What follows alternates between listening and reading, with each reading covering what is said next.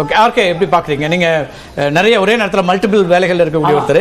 மேற்கு வங்கத்தை பத்தி உங்க கருத்து என்ன சொல்லுங்க? மேற்கு வங்கம் எதிர்பார்க்கப்பட்ட இடத்துல இருக்கா? என்ன பார்த்துட்டு இருக்கீங்க எஸ் இல்ல நிச்சயமாக. இது வந்து பாஜக வந்து அதனுடைய சீட்டு தக்க வைக்குமா இல்லையாங்கிறதா என்னை பொறுத்தவரை ஒரு பெரிய ஏன்னா மேற்கு வங்கம் தான் அவங்க கொஞ்சம் கூடுதலான இடங்களை எதிர்பார்த்த ஒன்றாகவும் இருந்துச்சு. ஆமா. மேற்கு வங்கம் தமிழ்நாடு கேரளால எல்லாம் வந்து எதிர்பார்த்தாங்க. இப்ப கேரளால மட்டும் ரெண்டு இடத்துல லீடிங் இருக்கிறாங்க. அது பெரிய ஒரு அப்செட்டாக தான் பார்க்க வேண்டியதா இருக்கிறது. இப்ப மேற்கு வங்கத்தை பொறுத்தவரை நிச்சயமாக ஸ்ரீராம் சார் சொன்ன மாதிரி அப்பர் லிமிட் யாருக்கு இல்லைன்னு பார்த்தீங்கன்னா என்னை பொறுத்தவரை திரிணாமுல் இல்லைன்னு தான் நான் பார்க்குறேன். அது அதாவது மூணு முறை ஆட்சியில் இருந்த பிறகு கூட ஒரு ஆட்சிக்கு வந்து மறுபடியும் வந்து மக்கள் வாக்களிக்கிறார்கள். இது அட்லீஸ்ட் டுவெண்ட்டி செவன் இடத்துல வந்து அவர்கள் வந்து முன்னிலையில் இருக்கிறாங்க பார்த்தீங்கன்னா அது சாதாரண முன்னிலையிலும் கிடையாது. எல்லாமே வந்து ஃபைவ் தௌசண்ட் செவன் தௌசண்ட் அந்த இடத்துல அந்த ரேஞ்சில் தான் நான் பார்த்தேன். அதன் பிறகு மாறி இருக்கான்னு தெரியல. சொல்லுங்க.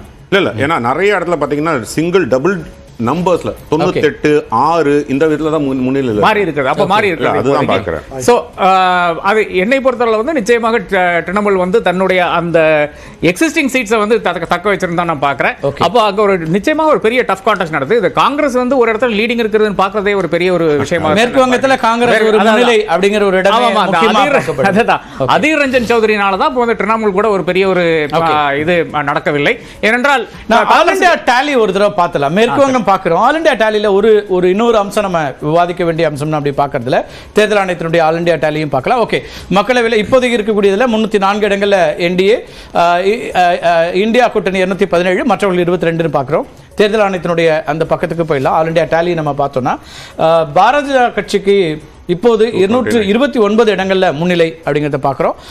காங்கிரஸ் தொண்ணூற்று ஒன்பது இடங்கள் முன்னிலை வைக்கக்கூடியதை பார்க்குறோம். தொண்ணூற்றி எட்டு இடங்கள்ல முன்னிலை வைக்கிறது காங்கிரஸ். முப்பத்தி நாலு இடத்துல அஹ், சமாஜ்வாதி இருபத்தி மூன்று இடத்துல திரிணாமுல் காங்கிரஸ் பதினேழு இடங்கள்ல திமுக தெலுங்கு தேசம் பதினைந்து இடங்கள் அப்படிங்கிறதெல்லாம் பார்க்குறோம். அதில் இன்னொரு முக்கியமான கவனிக்க வேண்டிய அம்சமா நான் பார்க்கறது இப்போதைய நிலையில காங்கிரஸினுடைய ஓட் ஷேர் இருபத்தேழு பர்சன்டா இருக்கு திரு ஸ்ரீராம் சேஷாத்ரி. இருபத்தி ஏழு அப்படிங்கிறது வந்து அவங்க வாக்கு ஏற்கனவே வாங்க பெற்ற வாக்குகள் இருந்து கூடுதலான ஒரு ஆறுல இருந்து ஏழு சதவீத வாக்குகள் அகில இந்திய அளவில். நம்ம நம்பர்ஸா என்ன கன்வெர்ட் ஆகுது அப்படிங்கிறதெல்லாம் பார்க்க வேண்டியிருக்கு. பாஜகவுடைய வாக்கு அதே போல காங்கிரசினுடைய வாக்கு இந்த இரண்டும் நம்ம வந்து கவனிக்கிறோம். அப்கோர்ஸ் முப்பத்தி ஒன்பது புள்ளி ஏழு சதவீத வாக்குகளோடு பிஜேபி BJP. முன்னிலை இருக்குது. அகில இந்திய அளவில் அவர்களுடைய வாக்கு சதவீதம் அப்படிங்கிறது. காங்கிரஸினுடைய வாக்கு சதவீதம் இருபத்தி ஏழு இருபத்தி ஏழு சதவீதத்திற்கும் சற்றே கூடுதலா இருபத்தி ஏழு புள்ளி பூஜ்ஜியம் எட்டு அப்படிங்கிற இடத்துல இருக்கிறத பார்க்குறோம். எப்படி பார்க்குறீங்க? இந்த இது இது ஒரு பிளேயரா இருக்குமா? இதை எப்படி பார்க்க வேண்டியிருக்கு இதுல வந்து concentrated vote share gain Congress பாத்தீங்கன்னா உங்களுக்கு உத்தரப்பிரதேஷ்ல ஒரு ஆறு இடங்கள்ல ஒரு கிடைச்சது. அவங்களுக்கு வந்து லெஸ் தேன் ஃபைவ் பர்சன்டேஜ் இருந்த இடம். ஓகே அங்க பெரிய அளவுல உங்களுக்கு வந்திருக்குன்றது தான் அது ஒரு முக்கியமான இதுவா இருக்கு. ரெண்டாவது உங்களுக்கு கர்நாடகாவில் வந்து காங்கிரஸ்னுடைய நம்பர்ஸ் வந்து கொஞ்சம் ஈவன் தோ ஏழு எட்டு இடங்கள்ல தான் லீடிங் இருக்காங்களோ அவங்களுக்கு வாக்கு வாக்கு சதவிகிதம் அங்க ஒரு பெரிய அளவுல இருக்கு. கேரளா இஸ் எனிவே இது இதெல்லாம் தான் கான்ட்ரிபியூட் Right. அஃப்கோர்ஸ் தமிழ்நாடு இதெல்லாம் தான் கான்ட்ரிபியூட் பண்ணியிருக்கே தவிர பாஜகனுடைய வாக்கு சதவிகிதம் கிட்டத்தட்ட தோராயமா அதே இதுல தான் இருக்கு அது ஒன்று ரெண்டு பர்சன்டேஜ் முன்ன பின்னல இருக்கு அவ்வளவுதான் இருக்கே தவிர. அதுல பாஜக வாக்கு சதவீதம் குறையல. பட் எங்க குறைஞ்சிருக்குன்னா ஒரு அஹ், நீங்க அஹ், எதிர்பார்த்த இரண்டு மாநிலங்கள் உத்தரப்பிரதேசம் ஒரு பெரிய அளவுலயும் வெஸ்ட். பெங்கால்ல ஒரு பெரிய அளவிலும் வெஸ்ட் மகாராஷ்டிரால அவங்களுக்கு ஒன்றும் பாதிப்பு இல்லை பிஜேபிக்கு தனிப்பட்ட முறையில் இழப்புன்னு ஒன்றும் கிடையாது பாதிப்பு இல்ல. பீகார்ல பாத்தீங்கன்னா நம்ம பீகார் பீகாரும் பார்க்கணும். அதுல. ஜேடியு வந்து நிதிஷ்குமார் வந்து ஒரு மிகப்பெரிய அளவுல. ஒரு லீட் எடுத்து தற்போதைய செய்தி பார்க்குறோம். அடுத்தடுத்த பொலிட்டிக்கல் டெவலப்மெண்ட்ஸ் நடக்க ஆரம்பிச்சிடும் சோனியா காந்தி அவர்கள் சற்று நேரத்தில் ஆலோசனை நடத்த இருக்கிறார் அப்படிங்கிறத பார்க்குறோம். மக்களவை தேர்தல் முடிவுகள் தொடர்பாக தன்னுடைய ஆலோசனையை மேற்கொள்ள இருக்கிறார். கூட்டணி கட்சிகளோடு பேசுவது உள்ளிட்ட அம்சங்கள்லாம் அவங்க ஈடுபட இருக்கிறாங்க அப்படிங்கிற செய்தியை பார்க்குறோம். இந்த எண்ணிக்கை காங்கிரஸுக்கு நிச்சயமா ஒரு சின்ன ஒரு கான்ஃபிடன்ஸ் கொடுத்துருக்கும் தான் நம்புகிறேன் ஏன்னா அவர்களுடைய தனிப்பட்ட முறையில் காங்கிரஸ் கட்சியுடைய எண்ணிக்கை கிட்டத்தட்ட இரண்டு மடங்கை நோக்கி நகர்ந்து கொண்டு இருக்கிறது அது போதான்னு தெரியாது. ஆனால் தொண்ணூற்றி எட்டு அப்படிங்கிற இந்த நிலைங்கிறது அவங்களுக்கு வந்து ஒரு நம்பிக்கை கொடுக்கக்கூடிய ஒரு எண்ணிக்கையாக மாறி இருக்கக்கூடிய சூழல்ல இப்போது அவர்கள் அவருடைய ஜன்பத் சாலையில் இருக்கக்கூடிய அவருடைய இல்லத்தில் இப்போது அதற்கான ஒரு சந்திப்பும் நடக்க இருக்கிறது அப்படிங்கிற செய்தியை பார்க்குறோம். இதை கடந்து கூட நீங்கள் பீகார் பார்க்கலாம் சொன்னீங்க. பீகாருடைய எண்ணிக்கையும் ரொம்ப கவனிக்க வேண்டியது. பீகாருடைய எண்ணிக்கையும் நம்ம பார்க்கலாம். கூடிய விரைவில் தமிழ்நாட்டில் தற்போதைய நிலையில் முப்பத்தி ஆறு இடங்களில் திமுக கூட்டணி இரண்டில் அதிமுக கூட்டணி ஒன்றில் பாஜக கூட்டணி முன்னிலை அப்படிங்கிறது அந்த முப்பத்தி ஒன்பதுல நம்ம பார்த்துட்டு இருக்கோம். அதுதான் தற்போதைய நிலை. பீகார் எஸ் பீகாரை பொறுத்த வரைக்கும் நிச்சயமா நம்ம விவாதிக்க வேண்டிய ஒரு அம்சம் தான் பிஜேபி கூட்டணிக்கு வந்து முப்பத்தி மூன்று மூன்று இடங்கள்ல முன்னிலை. ஆர்ஜேடி கூட்டணி ஏழு இடங்கள்ல முன்னிலை. மற்றவர்களுக்கு எதுவும் இல்லை அப்படிங்கறத பார்க்குறோம் எப்படி பார்க்குறீங்க எஸ் இதுல பாத்தீங்கன்னா உங்களுக்கு பீகார்ல ஆர்ஜேடி அண்ட் காங்கிரஸ் போன முறை வந்து பாத்தீங்கன்னா முப்பத்தொன்பது ஒன்னு இருந்தது. பிஜேபி பிளஸ் எஸ் அதுல வந்து ஒரு ஆர்ஜேடிக்கு வந்து ஒரு ஒரு கெயின் ஒரு நாலு சீட் வந்திருக்கு. இப்போதைக்கு வந்துட்டு இருக்கு எஸ் ஜேடியு ஒரு பெரிய ஒரு நிதிஷ்குமாரனுடைய தலைமையில் இருக்கக்கூடிய அவர் பதினாறு சீட்டு கிட்ட கண்டெஸ்ட் பண்ணது. He is actually holding on to அவருடைய சீட் எல்லாம் ஹோல்ட் பண்றாருன்னு தான் பார்க்குறோம். அண்ட் உங்களுக்கு சிராக் பாஸ்வானுடைய கட்சியாட்டம் மாஞ்சியினுடைய கட்சியாட்டம் அவர்கள்லாம் ஒரு பெரிய அளவில் Chirag Paswan I think still leading நான் கடைசியா பார்த்ததுல. Okay. பிஜேபியும் ஜேடியும் பிஜேபியில வந்து அந்த ஸ்ட்ராங்கா மெயின்டைன் பண்ணிட்டு இருக்காங்கன்னு தான் So, Okay. அதனால வந்து பீகாரை பொறுத்த உத்தரப்பிரதேஷ் பீகார் ரெண்டு தான் உங்களுக்கு நூத்தி இருபது சீட்ல Yes. ப்ரொடாமினா யார் ஆட்சி அமைச்சாலும் கை கொடுக்க வேண்டிய இடத்துல.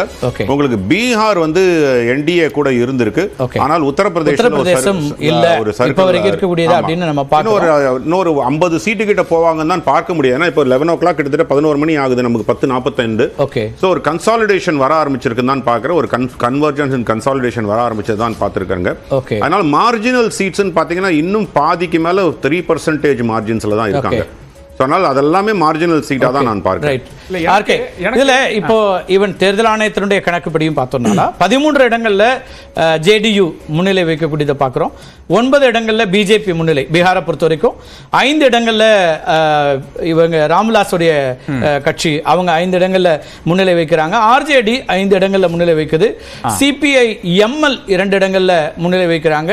அதே போல சிபிஐ ஒன்று காங்கிரஸ் ஒரு இடம் அப்படிங்கிற முன்னிலையில பார்க்குறோம். கிட்டத்தட்ட ஏழுங்கிறது இவங்களோட கூட்டணி. அப்ப லாலு இன்னும் லாலு ஜேடியு வந்து தக்க வைக்குதுன்னு பார்த்து பார்க்கும்போது அது ஒரு பெரிய ஒரு ஷாக்காகத்தான் இருக்கு ஏனென்றால் அந்த அளவுக்கு அதாவது அங்க இருக்கின்ற சாதாரண மக்களே அதாவது பீகார் மக்கள் இங்க வந்து வேலை பார்க்குறவங்க கூட அந்த அந்த அளவுக்கு அந்த அவரை பத்தி கிண்டல் பண்ற கேலி பண்ற நிதிஷ்குமாரை கிண்டல் பண்ற கேலி பண்ற ஒரு இடத்துல இருந்து நான் வந்து அப்ரோச் பண்றேன். ஆனா கடைசியில் அவர் ஜெயி- ஜெயிச்சுட்டு வராருன்னு பார்க்கும்போது பெரிய ஷாக்கா இருக்குது. அதே மாதிரி தான் எனக்கு யூபியும் பெரிய ஷாக்கா இருக்கிறது. அது நீ எப்படி மாறுதுன்னு தெரியல பட் இப்போதைக்கு வந்து பெரிய ஷாக்காகத்தான் இருக்கு யூபியினுடைய ரிசல்ட் மகாராஷ்டிரா நிச்சயமாக காங்கிரஸுக்கு அந்த எம்பிஏ கூட்டணிக்கு வந்து கை கொடுக்கிறதா பார்க்கிறது. கர்நாடகா தேர்தல் வந்து நிச்சயமாக ஒரு பெரிய ஒரு மறுபடியும் ஷாக்காகத்தான் இருக்கு. பிரஜ்வல் ரேவண்ணாவுடைய அந்த டேப் வந்த பிறகு தான் பதினாலு சீட்டுக்கு தேர்தல் நடக்கிறது அங்க வந்து கணிசமான இடத்துல வந்து ரேவண்ணா தொகுதியும் பார்த்தல எனக்கு தெரிஞ்சு அவர் முன்னிலை. வைக்க தான் வாய்ப்புகள் அதிகம். அப்படியே வயநாடும் கொஞ்சம் பார்க்கணுங்க. அவர். அறுபதாயிரம் ஓட்டுக்கு கட்டாயமா. லீடிங் கட்டாயம். முக்கியமான தொகுதி எல்லாமே. பார்க்க வேண்டியிருக்கிறது. வயநாடு உள்ளிட்ட விஐபி தொகுதிகளையும் நம்ம பார்க்கணும். அகில இந்திய அளவில் விஐபி தொகுதிகளோட நம்ம இங்கிருந்து மேஜிக் வால்லையும் நம்ம பார்க்க இருக்கிறோம். மேஜிக் வால் பிரசன்டேஷன் போறதுக்கு முன்னாடி டெல்லியில இருந்து செய்தியாளர் சிவரஞ்சனி இணைஞ்சிருக்காங்க. சிவரஞ்சனி நம்முடைய ஒட்டுமொத்தமான சென்ட்ரல் ஜோன் இது இது ரொம்ப முக்கியமாக பார்க்குறோம். தமிழ்நாட்டில் இருக்கக்கூடிய தொலைக்காட்சிகளில் ஒட்டுமொத்த இந்தியாவிலிருந்து களத்திலிருந்து நேரடியாக தகவல்களை கொடுக்கக்கூடிய ஒரு இடத்துல இருக்கக்கூடிய நெட்வொர்க் எனவே நம்முடைய எண்ணிக்கைங்கிறது நம்பகத்தன்மை வாய்ந்ததாகவும் இருக்கிறது. ஸோ சிவரஞ்சனி எ- என்ன மாதிரியான ட்ரெண்ட்ஸ் இருக்குது அங்கே நம்மளுடைய இந்த நம்ம நமக்கு வரக்கூடிய தகவல்கள் கூடுதல் விவரங்கள். நீங்கள் சொல்லலாம். எஸ் நிச்சயமா கார்த்திகை செல்வன் இங்க தலைமை அலுவலகத்துல இப்ப எல்லா மாநிலங்கள்ல இருந்துமே பணியாளர்கள் வந்து இங்க பணியாற்றிட்டு இருக்காங்க. நான் முன்பே காலையில இருந்து குறிப்பிட்டிருக்கிற மாதிரி ஆயிரத்துக்கும் மேற்பட்ட செய்தியாளர்கள் களத்துல இருந்து இந்த தகவல்களை எல்லாம் கொடுத்துட்டு இருக்காங்க. இப்ப நம்ம ஒவ்வொரு மாநிலமா எப்படி இருக்கு ட்ரெண்ட் அப்படின்னு பார்த்தோம்னா முதல்ல தென் மாநிலம். தமிழ்நாடு அப்கோர்ஸ் நமக்கு தெரியும். டிஎம்கே கூட்டணி தான் லீடிங்ல இருக்கு. இது எதிர்பார்க்கப்பட்ட ஒண்ணுதான். எக்ஸிட் போல்லையும் அதவே தான் நம்ம பார்த்திருந்தோம். மத்தபடி கர்நாடகா கேரளாவை பொறுத்த வரைக்கும் என்னென்ன நிலைமை இருக்கிறது? விஐபி கேண்டிடேட்ஸோட நிலைமை எப்படி இருக்கு அப்படின்றத நம்ம கேட்கலாம் இப்ப கர்நாடகாவில இருந்து திரு ஜெகதீஷ் வந்து நம்மோட இணையறாரு அவர்கிட்ட பேசுவோம் Jagadish considering Karnataka so who are all leading now what the overall status of the state Karnataka, uh, there is 28 total constituency. Out of 28, Congress is leading 8 constituency. BJP is leading 17 constituency. And BJP ally JDS is part of NDA alliance. It is leading in 3 constituency. JDS leader and former Chief Minister H.D. Kumaraswamy is leading by more than 1 lakh vote. It is Okay. almost certain that is going to win. But at present he is leading by more than 1 lakh vote. And like that, BJP uh, in North Karnataka, North Kannada district, North Kannada district, BJP candidate is leading by nearly 1 lakh vote. இப்ப நம்ம கர்நாடகாவை பொறுத்த வரைக்கும் நம்ம ஒரு விஷயம் இதுல observe பண்ணலாம் கார்த்திகை செல்வன். அவங்க வந்து அசம்பிளி எலெக்ஷன்லயும் லோக்சபா எலெக்ஷன்லயும் மாதிரி மாதிரி அதுக்கென்று தனித்தனி ட்ரெண்ட ஃபாலோ பண்றாங்களா மக்கள் அப்படின்ற ஒரு கேள்வி எழும். ஏன்னா அசெம்பிளி எலெக்ஷன்ல காங்கிரஸ் அங்க வந்து அதிக இடங்கள்ல வெற்றி பெற்று ஆட்சி அமைச்சது. அதுக்கு பிறகான அவங்களோட வாக்குமே அங்க பாராட்டத்தக்கதா இருக்குன்ற ஒரு பேச்சும் இருந்தது.